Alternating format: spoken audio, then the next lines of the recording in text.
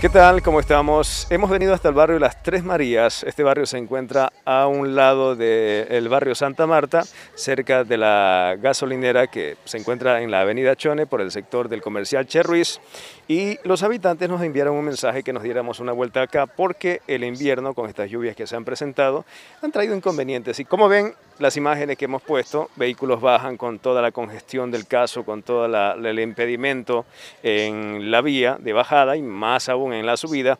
Y ellos se sienten preocupados porque al servicio básico, por ejemplo el basurero, eh, la entrega de gas, posiblemente alguien se encuentre discapacitado y tenga que subir a hacerse el chequeo médico a cierta hora de la madrugada, no podría hacerlo. Y por eso hemos sido convocados por los habitantes del barrio para hacer conocer este malestar y que las autoridades, pues, lógicamente tomen las acciones del caso. Mi querida amiga, gracias por recibirme acá.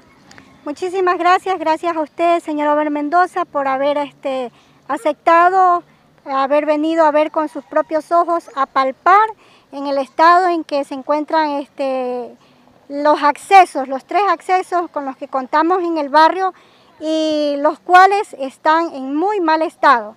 Lamentablemente no hemos tenido eh, apoyo aún del señor alcalde, se ha realizado una gestión con la señora presidenta misma que no se encuentra.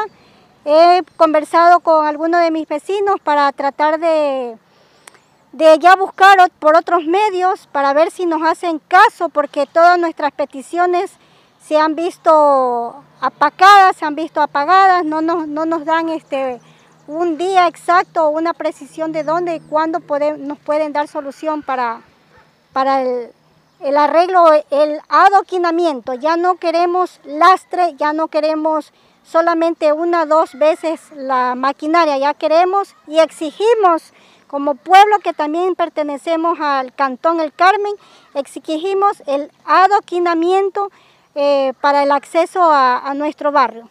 Para que la obra llegue debe de hacerse un trámite. ¿Ese trámite ustedes ya lo hicieron? Desde la administración pasada se, generó, se hizo eh, algunas, eh, se hizo visitas, se gestionó con el señor alcalde en ese entonces, el ingeniero Hugo Cruz Andrade, y ya se quedó en, una, en un proceso, pero lamentablemente no sé qué fue lo que pasó, que se, se quedó, se estancó y ya en ese entonces también ya vino la nueva, la nueva alcaldía y ya desde ahí ya otra vez se paralizó. No, y la última reunión con la que estuvimos presentes, algunos moradores también del sector, supuestamente eh, nos había manifestado que para este mes de febrero se iba a empezar nuevamente con el proceso, pero ya va a terminar el mes y ya vamos a empezar por el tercer mes y no hay ninguna ayuda de ninguna de, las personas que están a cargo del... ¿En el proceso que solicitaban? ¿Adoquinado, asfaltado? ¿En qué se quedó? Quedamos ya para el adoquinamiento.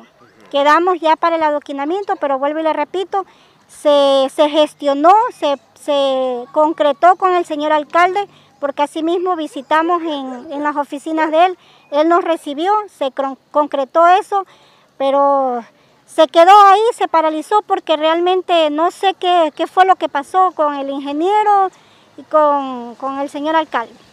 Bueno, digamos que van a decir que no hay presupuesto, no hay recursos, tienen que hacer planes. ¿Qué es lo que necesitan ustedes así de forma oportuna, sobre todo que no tienen acceso? Porque al llover duro, pues la vía más bonita que se encuentra en realidad eh, patinan los vehículos como hemos visto. ¿Qué es lo que necesitan ahora ustedes como solución inmediata? Por lo menos necesitamos, por lo menos que nos ayuden con, con la maquinaria para por lo menos este, aplacar un poco este, la, vía, usted como usted mismo puede ver, está observando, usted mismo está palpando una capa asfáltica, aunque no sea en los tres accesos, por lo menos en uno, porque estamos mal, o sea, estamos sinceramente estamos mal. En las lluvias torrenciales se nos viene toda la piedra de arriba, inclusive aquí ha habido este ha habido vecinos donde se han inundado, se, se, les ha metido el agua, entonces este, eso les afecta inclusive a los, a los enseres, a los animalitos de, los vecinos. Entonces yo sé que para ellos puede ser muy poca cosa, pero para nosotros que vivimos aquí lo necesitamos.